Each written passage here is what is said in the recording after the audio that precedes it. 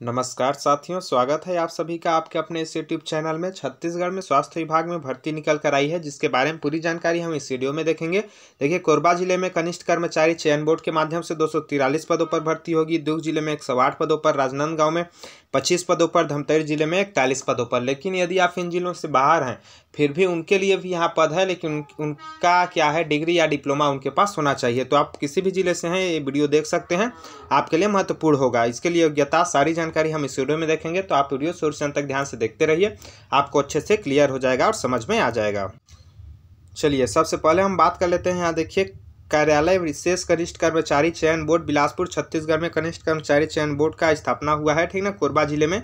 उसी का विज्ञापन है। देखिए, कार्यालय मुख्य चिकित्सा एवं स्वास्थ्य अधिकारी जिला कोरबा अंतर्गत जिला संवर्ग के तृतीय एवं चतुर्थ श्रेणी के पदों पर चयन हेतु ऑनलाइन आवेदन करने के संबंध में है। यहाँ देखिए, आपका बताया गया है, इसका जो ऑफिशियल वेबसाइट है, इसका लिंक ये है आपका। इस ऑफिशियल वेबसाइट में जाकर आप पूरी जानकारी देख सकते हैं। यदि आप देखना चाहें तो ठीक, बाकी यहाँ आपको बता दिया जा रहा है। देखिए, ऑनलाइन आवेदन भरने की प्रारंभिक तिथि आपका 21 मार्च 2022 से आप ऑनलाइन आवेदन कर सकते हैं।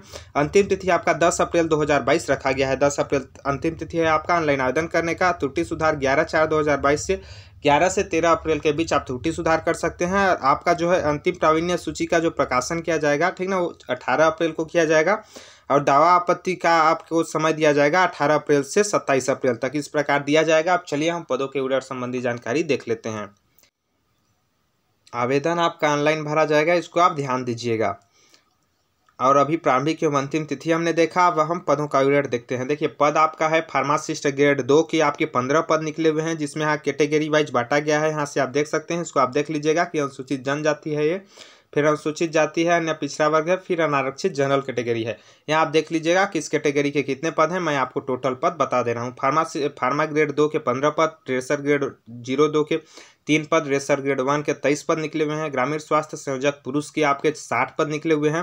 ग्रामीण स्वास्थ्य संयोजक महिला के छब्बीस पद, भृत्य के सात पद, वार्ड बॉय के तीस पद, वार्ड आया के इकतालीस पद, स्वच्छक के बाईस पद, चौकीदार के पाँच पद, ओपीडी के सात पद, अटेंडेंट के ओपीडी अटेंडेंट के सात पद कूट, कुक के आपके चार पद निकले हुए हैं। आपको सी एफ़ दिखा होगा बीच में, ग्रामीण स्वास्थ्य संयोजक में उसका मतलब होता है अग्रणी पद।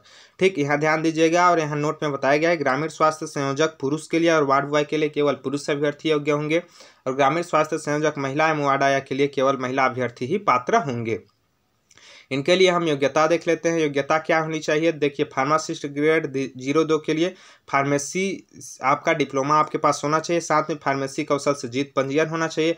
ड्रेसर के लिए बारहवीं कक्षा विज्ञान विषय में होना चाहिए। साथ में आपका ड्रेसर का आपके पास प्रशिक्षण होना चाहिए और जीत पंजीयन सभी में होना चाहिए आपका, ठीक ना? ड्रेसर ग्रेड ज़ीरो दो के लिए दसवीं कक्षा उत्तीर्ण होना चाहिए। ग्रामीण स्वास्थ्य संयोजक पुरुष के लिए आपका एक वर्षीय डिप्लोमा होना चाहिए। बहुउद्देशीय कार्यकर्ता प्रशिक्षण में, साथ में बारहवीं आपका जीव विज्ञान से होना चाहिए।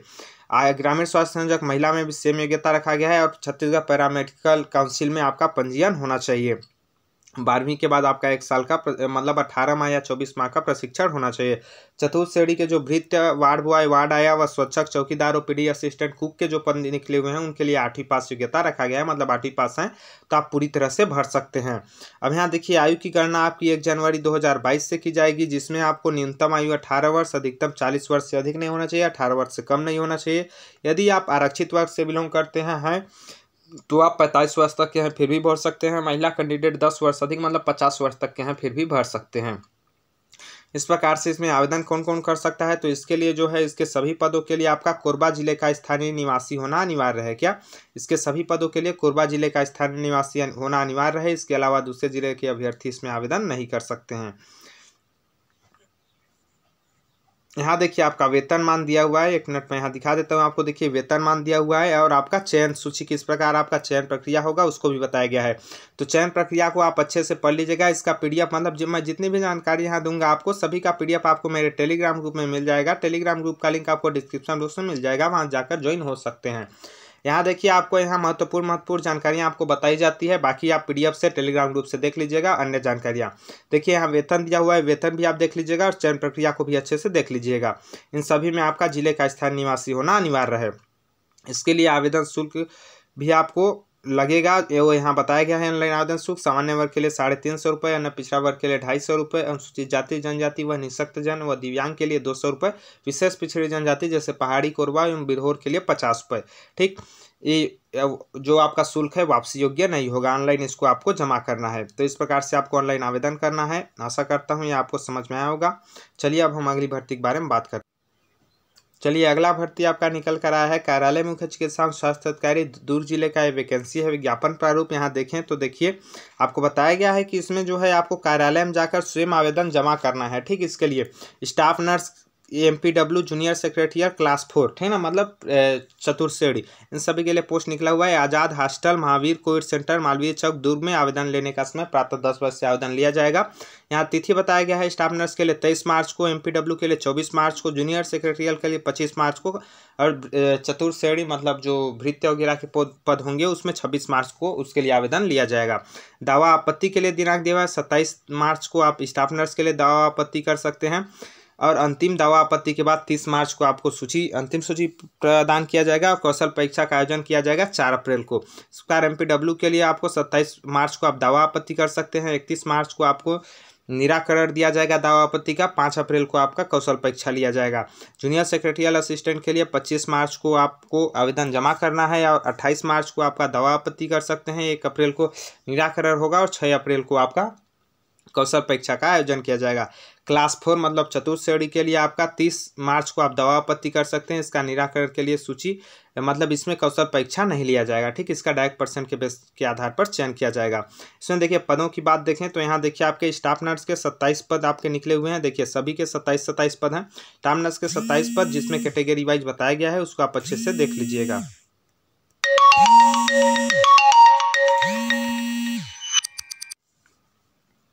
चलिए आगे बात करते हैं। स्टाफ नर्स के सत्ताईस पद निकले हुए हैं। सोलह हज़ार पाँच सौ वेतन रहेगा आपका।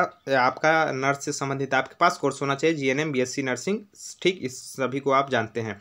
एमपीडब्ल्यू के लिए सत्ताईस पद निकला हुआ है। चौदह हज़ार वेतन रहेगा आपका। एमपीडब्ल्यू कोर्स आपके पास होना चाहिए एक वर्ष का। साथ में बारहवीं कक्षा बायो सब्जेक्ट के साथ होना चाहिए। जूनियर सेक्रेटरियल असिस्टेंट के सत्ताईस पद निकले हुए हैं। इसके लिए आपको जो है बारह हज़ार वेतन रहेगा। बारहवीं पास होना चाहिए। साथ में एक साल का कंप्यूटर डिप्लोमा आपके पास होना चाहिए। क्लास फोर भृत्य के लिए मतलब क्लास फोर चतुर्थ श्रेणी के लिए आपके सत्ताईस पद हैं, जिसमें दसवीं पास योग्यता रखा गया है, दस हज़ार आपका वेतन दिया जाएगा इसमें। इस, इसमें भी आपको मैं बता दूँ कि इसके लिए दुर्ग ज़िले का स्थानीय निवासी होना अनिवार्य है। दुर्ग ज़िले के बाहर से बाहर के अभ्यर्थी इसमें आवेदन नहीं कर सकते हैं। यह नियुक्ति आपकी पूर्णतः संविदा नियुक्ति है। चलिए इसके बारे में आगे जानकारी देख लेते हैं। इसमें भी आवेदन शुल्क रखा गया है। यहाँ देख लीजिए, उक्त संविदा भर्ती के लिए न्यूनतम अठारह वर्ष, अधिकतम सत्तर वर्ष आपका आयु सीमा रखा गया है, अठारह से सत्तर वर्ष तक के हैं तो आप इसमें फॉर्म भर सकते हैं। ठीक, आवेदन आयु गणना आपकी एक जनवरी 2022 से की जाएगी, जिसमें आपका आवेदन शुल्क रखा गया है। दिव्यांगजन सूचित जाति, जनजाति, महिला के लिए सौ रुपये अन्य पिछड़ा वर्ग के लिए दो सौ रुपये अनारक्षित वर्ग के लिए तीन सौ रुपये रखा गया है। यह आवेदन शुल्क जो है आपका, प्रत्येक पद के लिए जो आवेदन शुल्क है आपको राष्ट्रीय बैंक द्वारा district health society known N R H M other found A C के नाम से आपका डी डी डिमांड ड्राफ्ट के माध्यम से आपको आवेदन शुल्क पे करना होगा बैंक में। तो इस प्रकार से आपका इसके लिए भी कौशल परीक्षा या फिर साक्षात्कार का आयोजन किया जाएगा, या लिखित परीक्षा का आयोजन किया जाएगा।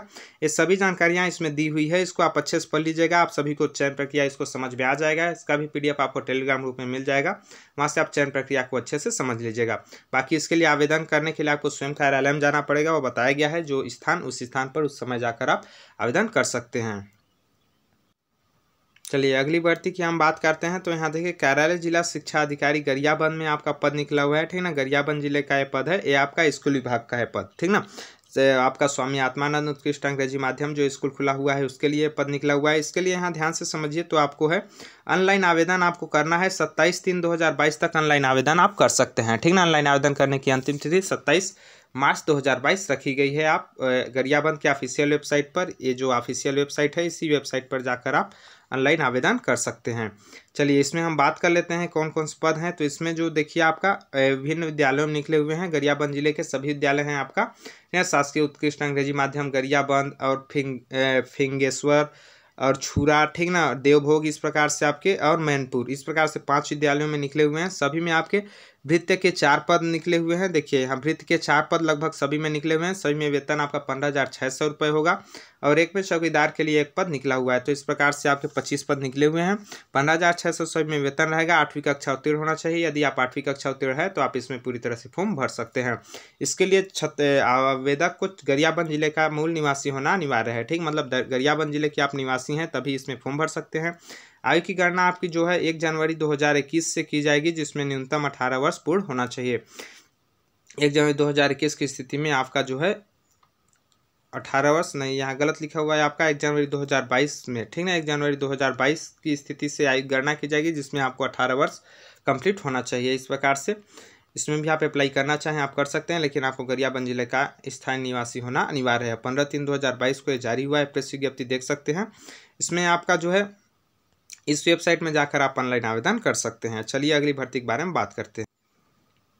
अगला भर्ती आपका निकल कर आया है। कार्यालय मुख्य चिकित्सा स्वास्थ्य अधिकारी जिला धमतरी, छत्तीसगढ़ की तरफ़ से धमतरी ज़िले में आपका विज्ञापन निकल कर आया है। इसके लिए देखिए, ऑनलाइन आवेदन करने की अंतिम तिथि आपका जो है, एक चार दो हज़ार बाईस रखा गया है। मतलब एक अप्रैल दो हज़ार बाईस तक आप ऑनलाइन आप आवेदन कर सकते हैं। आवेदन किस प्रकार किया जाएगा, वो यहाँ देख सकते हैं। ऑनलाइन आवेदन नहीं, ऑफलाइन आवेदन आपको किया जाएगा। ध्यान से समझिएगा, एक चार दो हज़ार बाईस शाम साढ़े पाँच बजे तक कार्यालय में कोई चिकित्सा स्वास्थ्य अधिकारी जिला धमतरी, छत्तीसगढ़ में केवल पंजीकृत डाक या स्पीड पोस्ट के माध्यम से आवेदन जमा किए जाएँगे, ठीक ना? इसके अलावा अन्य माध्यम से आवेदन जमा नहीं किया जाएगा। इसमें विभिन्न पद निकले हुए हैं आपका फिजिकोलॉजिस्ट डेंटल सर्जन यहाँ आपको देखिए, यहाँ सबसे पहले यहाँ कार्यक्रम का नाम दिया हुआ है, फिर पद का नाम दिया हुआ है, फिर एक मुफ़्त वेतन आपका दिया हुआ है। वेतन कितना रहेगा? फिर यहाँ रिक्त पद दिया हुआ है। फिर यहाँ श्रेणीवार बताया गया कि जनरल के लिए ओबीसी के लिए एस टी के लिए कितना पद है आपका? शैक्षणिक योग्यता बताया गया है। तो यहाँ समझ फिजिकोलॉजी के लिए इकतीस हज़ार पाँच सौ वेतन रहेगा। संबंधित सब्जेक्ट से आपके पास मास्टर डिग्री होना चाहिए। डेंटल सर्जन के लिए सत्ताईस हज़ार वेतन रहेगा। सभी में आपके लगभग लगभग एक एक पद निकले हुए हैं, ठीक ना? Dental surgeon medical officer pharmacist R M N C H या एफ़ पी काउंसलर के पद निकले हुए हैं एम पी डब्ल्यू मेल के क्लास इस तरह के। देखिए, यहाँ तक के जो पद हैं आपके छः पद, जो जो अभी बताए, उन सभी पद में आपके जो हैं संबंधित सब्जेक्ट से आपका डिप्लोमा या डिग्री आपके पास होना चाहिए। सभी में लगभग एक एक पद निकले हुए हैं, लेकिन यहाँ एम पी डब्ल्यू में जो है छः पद निकला हुआ है, बाकी सभी में लगभग एक एक पद निकले हुए हैं। आगे हम बात करें क्लास फोर की तो क्लास फोर का दस हज़ार रुपये प्रति महीना वेतन रहेगा, जिसमें छः पद निकला हुआ है, दसवीं पास योग्यता रखा गया है। अटेंडेंट एनआरसी का जो पद आपका निकला हुआ है, आठ हज़ार आठ सौ रुपये वेतन रहेगा, बारहवीं पास योग्यता रखा गया है। नर्सिंग ऑफिसर के लिए सोलह हज़ार पाँच सौ वेतन रहेगा बी एस सी या जी एन एम नर्सिंग होना चाहिए। नर्स फॉर जेरिएट्रिक केयर या फिर पेलेटिव केयर के लिए आपका सोलह हज़ार पाँच सौ वेतन रहेगा। चार पद निकला हुआ है। बी एस सी या जीएनएम एन एम नर्सिंग होना चाहिए। नर्सिंग ऑफिसर के लिए भी सेम योग्यता बी एस सी या जीएनएम एन एम नर्सिंग होना चाहिए। दो पद निकला हुआ है। स्टाफ नर्स के लिए भी छः पद निकला हुआ है। सेम योग्यता है। एच डब्ल्यू सी संगवारी काउंसलर के पद निकले हुए हैं। संगवारी के अंतर्गत तेरह हज़ार पाँच सौ प्रति महीना वेतन रहेगा। ग्रेजुएशन होना चाहिए। मास्टर ऑफ़ सोशल वर्क के साथ। ठीक ना? मतलब सम या फिर आपके पास ग्रेजुएशन साथ में समाज शास्त्र का डिग्री आपके पास होना चाहिए। साथ में कंप्यूटर का डिप्लोमा डि, डिप्लोमा आपके पास या फिर कंप्यूटर नॉलेज होना चाहिए। डब्ल्यू सी संगवारी के अंतर्गत डाटा एंट्री ऑपरेटर का पोस्ट निकला हुआ है। तेरह हज़ार पाँच सौ वेतन रहेगा। इसमें भी आपको ग्रेजुएशन होना चाहिए। साथ में आपके पास कंप्यूटर का नॉलेज होना चाहिए। जूनियर सेक्रेटरियल असिस्टेंट का बारह हज़ार प्रति महीना वेतन रहेगा। छः पद निकला हुआ है, बारहवीं पास होना चाहिए। साथ में आपके पास कंप्यूटर डिप्लोमा का, कंप्यूटर का सर्टिफिकेट होना चाहिए एक साल का। इस प्रकार से अलग अलग पद निकला हुआ है। इसमें जो है आपका, ये भी पूरी तरह से आपका संविदा भर्ती है। सोलह हज़ार पाँच सौ रुपये से कम वेतन जिसमें है या फिर सोलह हज़ार पाँच सौ रुपये हैं, उसमें केवल छत्तीसगढ़ के, धमतरी ज़िले के निवासियों को प्राथमिकता दिया जाएगा मूल निवासियों को। बाकी इससे अधिक जिसमें वेतन है, उसमें छत्तीसगढ़ के सभी ज़िले के निवासियों को समान प्राथमिकता दिया जाएगा। कोई भी आवेदन कर सकता है। छत्तीसगढ़ का स्थानीय निवासी होना इसके लिए अनिवार्य है। आयु गणना एक जनवरी 2022 से की जाएगी, जिसमें न्यूनतम अठारह वर्ष होना चाहिए, अधिक से अधिक आपका चालीस वर्ष होना चाहिए चिकित्सकीय पद के लिए, वो चौंसठ वर्ष होना चाहिए प्रबंधकीय पद के लिए। इस प्रकार से सारी जानकारी आपको दी गई है। यहाँ चयन प्रक्रिया बताया गया है किस प्रकार आपका चयन होगा। शैक्षणिक योग्यता के आधार पर इन सभी को आप अच्छे से पढ़ लीजिएगा। सभी का पी आपको टेलीग्राम ग्रुप में मिल जाएगा। यहाँ आपको कुछ शुल्क लगेगा, जो आपका सौ रुपये दो सौ रुपये तीन सौ रुपये इस प्रकार से है। आप देख लीजिएगा शुल्क को। इसको आपको डीडी के माध्यम से बैंक पे जमा करना है आपको। तो इस प्रकार से आप इसमें ऑफलाइन आवेदन करना है। इन सभी का, ये बारह पेज का पीडीएफ है, इसको आप अच्छे से देख लीजिएगा। ये है पीडीएफ आपको टेलीग्राम ग्रुप में मिल जाएगा। ये है आवेदन पत्र का प्रारूप, इसी प्रारूप को आपको निकाल के ऑफलाइन स्पीड पोस्ट या पंजीकृत डाक के माध्यम से आवेदन करना है। तो यही सारी जानकारियाँ आपको इस वीडियो में देनी थी। आशा करता हूँ वीडियो अच्छा लगा होगा, समझ में आया होगा। अच्छा लगा होगा तो आप लाइक कर सकते हैं वीडियो को। यदि अच्छा लगा होगा तो यदि आप नए हैं तो आप रीजनिंग मैथ के वीडियो चाहते हैं या फिर जॉब से संबंधित वीडियो चाहते हैं तो चैनल को सब्सक्राइब कर सकते हैं। वीडियो देखने के लिए बहुत बहुत धन्यवाद आप सभी का। जल्द मिलेंगे अगले वीडियो में। तब तक के लिए जय हिंद, जय भारत, जय छत्तीसगढ़।